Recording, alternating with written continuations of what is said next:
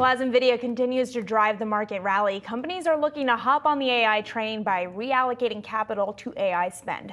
Not all of it is created equal. Yahoo Finance spoke with Alex Karp, he is Palantir CEO, about the challenges facing executives regarding AI expenditures. Here's what he had to say.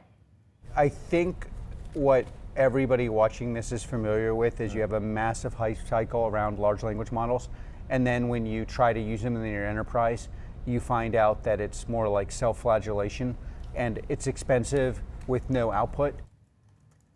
So, how can investors evaluate AI expenditure and not go into the self flagellation quote that Alex Karp just talked about? For, for more on this, we've got Luke Barrs. He is Global Head of Client Portfolio Management for Fundamental Equity at Goldman Sachs Asset Management. Luke, great to have you on here. I know you just heard that soundbite, but from your perspective, what is the correct framework that investors should be utilizing to suss out AI capex and what is, you know, really going to lead to growth on the R&D side versus just something buzzy to say on an earnings call? Yeah. So, firstly, Seana, thank you so much for having me. I, I would say first and foremost, we need to reflect on the fact that AI is transformational. It is changing how we operate, and it is rapidly changing the dynamics in some of the technology hardware businesses that we assess and value as, as investors. Now, what I would say is just thinking through the timing and the sequencing of that, we're at a point now where your hyperscalers are investing every incremental dollar they can find in staying ahead of the pack as much as they possibly can on the LLM development side. And that means that if you're a semiconductor business that's aligned to server and hyperscaler capacity extension, you're in a very sweet spot at this point in time. Now, I think as we go forwards, we should expect competition. We should see some change in dynamic in that industry as we see more companies come to market with capabilities in that space, and or as we see the shift from the best in class, leading edge nano capacity semiconductors towards something a little bit more cost effective in the ASIC space, actually changing that a little bit. But right now, we're still very bullish on the space. We have to be thoughtful around valuations, but we see a lot of opportunity. Luke, when it comes to, uh, you were recently ha- had the opportunity joining a small group of investors invited for the day to spend some time uh, with Microsoft's senior management team. I'm curious what your takeaway from those conversations are just in terms of where we are in this AI cycle and, and how much opportunity it sounds like still lies ahead. Yeah, and actually, just interestingly, our leading investment team on the global and US side have just spent the week on the West Coast meeting with roughly 20 companies, both public, private, and actually also on the VC side. So I think we've got some real time intel into what's happening in that space. And I think the very short answer is we're still at the very early stages of this transformation, especially in the public market context. We're still at the cutting edge of how can you utilize LLM and big data analytical tools in that AI framework? And then how can you apply that into real world solutions? And so I think at the moment, we're seeing a clear cycle of accelerated earnings in the enabling technologies, we're not seeing the evidence of that passing through into the software businesses in the way that we would expect to over the medium to long term. And so as we see the long-term adoption of AI techniques within those productivity enhancing solutions, I think that's a further bull case for some of those software businesses, especially the bigger names that we know are at the front edge of that development. Yeah, earlier we were looking at a stat showing that over the last 11 weeks, 60% of the sell off in tech stocks was coming specifically out of software stocks, Luke, which is no small amount. What is the framework for thinking about how to time a potential bottom for software stocks? Is there room for recovery in that area this year for investors?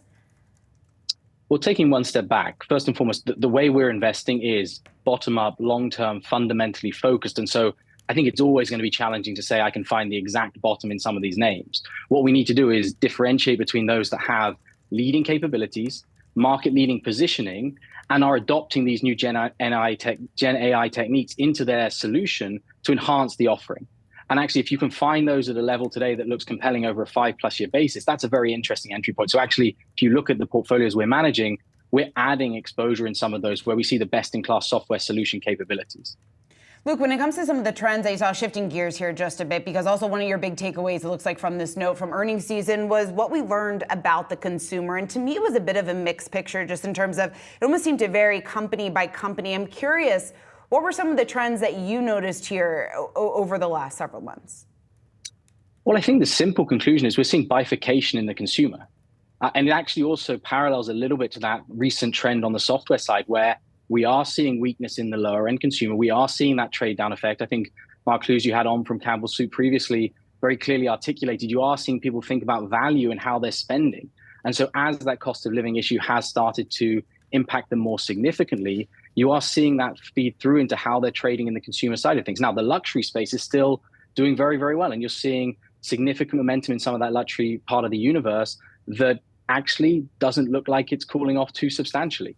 On the software side, I think the parallel there, just to come back to that for a second, is that is really weakness in the SME space. And so as we think about the forward look for, for markets and we think about the opportunity we have from this point forwards, the economy in the US looks okay. We've just seen latest payroll numbers. They look very compelling, but obviously it's just put the Fed on a little bit of a pause potentially. That to us is a very interesting entry point into a long term growth story in the US because the economy still looks fairly robust as long as you can differentiate away from some of those businesses that are facing the pressures of that consumer spending challenge. And taking a step back, and you mentioned kind of the macro impact of all of this, and you you talk about the large number of rollbacks from a company like McDonald's. You're just talking about Campbell Soup, but you also talk about a company like Delta having the higher end revenue outpacing the main cabin. It makes me think about a K-shaped recovery, and I wonder to what extent we need to be worried about when that becomes the next shoe to drop for the economy, or as long as some spending is fueling growth, does it matter if it's a K-shaped recovery? I think it's important in terms of thinking about how you're investing in the US equity market at this point, because there are going to be significant winners and losers. You're going to have businesses that are, for example, going back to our discussion around AI, at the right side of that AI investment cycle. And if we're seeing roughly a trillion dollars of investment in capex in the S&P 500 and 800 billion of that is coming from your hyperscaler scaler businesses, you need to be well aligned to that to succeed over the near term. But I think looking at it more medium to long term, we know the Fed has capacity to cut rates. I think you had my colleague Greg Tuorto on talking about small caps yesterday.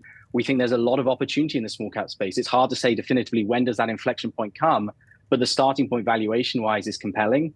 The economy looks okay, not perfect, but if the Fed has the ability to support that, should you see a worsening in economic profile, I think that's a very interesting place to be starting that investment cycle.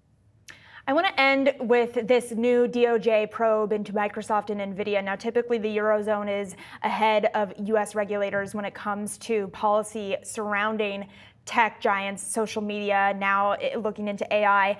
How should investors be thinking about playing the regulatory moves coming from the US, and does it present more opportunity in the Eurozone? I think, first and foremost, we have to be very cautious as it relates to regulation just holistically whenever you've got dominance in individual industries. But at the same time, let's recognize that these are businesses that are driving an enhancement in the solution they're able to deliver, which is productivity enhancing and so deflationary in many ways.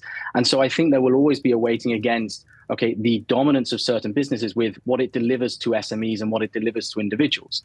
Uh, I don't think there's necessarily strong differentiation between US and Europe. I think we have to be sensitive to that in both jurisdictions uh, and actually just be very thoughtful in terms of the individual businesses you're buying and their exposure to those potential risks. All right, Luke Barrs, it was great to have you. We hope to have you back again soon. Goldman Sachs Asset Management, Global Head of Client Portfolio Management for Fundamental Equity. Thanks so much, Luke. Thanks for having me.